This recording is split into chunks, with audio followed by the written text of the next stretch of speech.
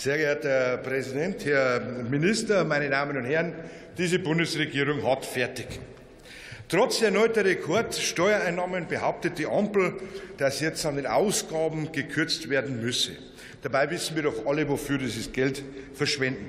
Grüne Inflation, unbegrenzte Massenmigration in Sozialsysteme, die dümmste Energiepolitik der Welt, die nachweislich völlig nutzlosen Russland-Sanktionen und Abermilliarden für völlig mögliche, äh, für unmögliche Entwicklungsländer. Darunter sind übrigens auch die Taliban, die Weltmacht China und Indien. Indien hat übrigens erst vor kurzem erfolgreiche Mondmission gefeiert, meine Damen und Herren. Also für Hinz und Kunst und die ganze Welt verschleudert diese Ampelregierung unser hart erarbeitetes Geld unserer lieben Steuerzahler, die täglich da draußen aufstehen und für uns arbeiten. Nur für die Deutschen selbst bleibt nichts übrig. Deutschland verarmt und verantwortlich dafür ist einzig und allein diese Ampelregierung, meine Damen und Herren. Das spiegelt sich leider auch im geplanten Haushalt für die, für die Landwirtschaft wieder. Hier hat der Minister ausgerechnet bei den Mitteln für den ländlichen Raum den dicksten Rotstift angesetzt und will knapp 300 Millionen Euro ersatzlos streichen. Damit entziehen Sie den ländlichen Raum im kommenden Jahr rund eine halbe Milliarde Euro, wenn man die Kofinanzierung der Länder mit einbezieht. Viele Bundesländer haben deshalb notgedrungen bereits jetzt umfangreiche Förderstopps für zahlreiche Agrarumweltprogramme kündigen müssen. Das muss man sich mal vorstellen.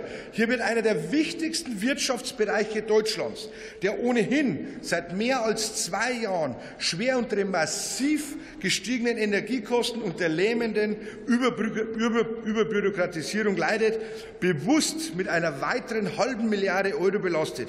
Was für Wahnsinn und was für Schlag ins Gesicht für die bäuerlichen Familienbetriebe, die strukturschwachen Regionen und für den Naturschutz, meine Damen und Herren.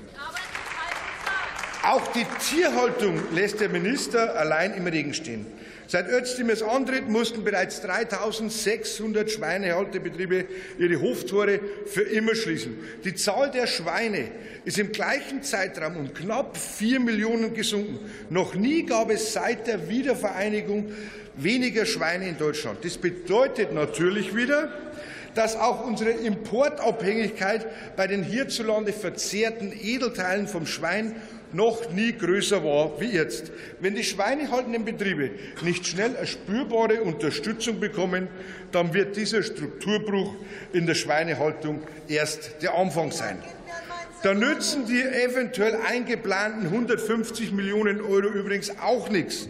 Denn das ist A, erstens nur ein Tropfen auf den heißen Stein und B haben mehr als 90 Prozent der Betriebe ja überhaupt keine Chance, jemals diese Mittel ranzubekommen. Und das weiß der Minister auch, aber deswegen lobt er es immer wieder so hoch.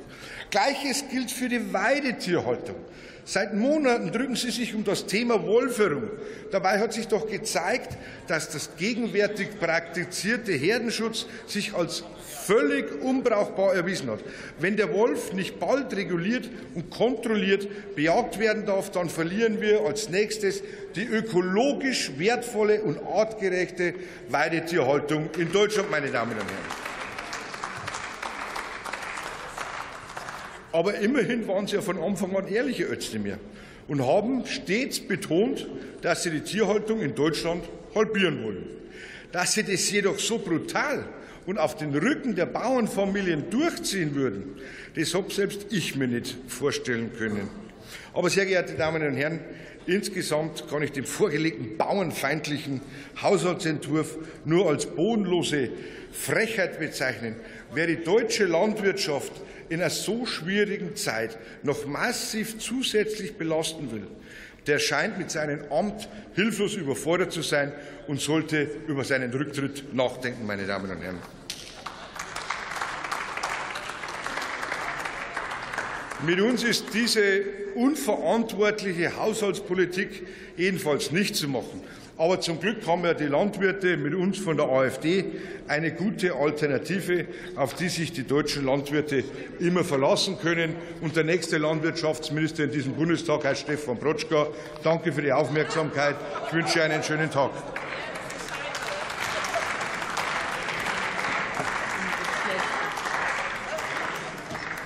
Ja, nächster Redner ist der Kollege Dr. Gero Hocker, FDP-Fraktion.